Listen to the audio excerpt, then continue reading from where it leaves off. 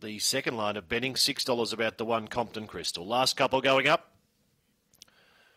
Commercial Hotel, Grade 5, Series Heat number 2. Last couple going in, green light. Lure to the boxes, 512 metres the journey. Set, Racing Midnight Blast a little slow out of the boxes. Now starts to muster some speed. Compton Crystal went to the front around the first bend. Midnight Blast now to second. Compton Brett to third. Three lengths away. Silver Cadillac followed by Amorphous Fire. St. Eilish back second last. Electra Boogie last of all. Midnight Blast ran to the front. Got away by three to Compton Brett. Three Compton Crystal. Then Amorphous Fire. No need to go back any further. Midnight Blast a mile in front around the bend. Going strongly. Midnight Blast getting tired late but it'll be too good defeated Compton Brett. Third over the line will be Amorphous Fire, I think.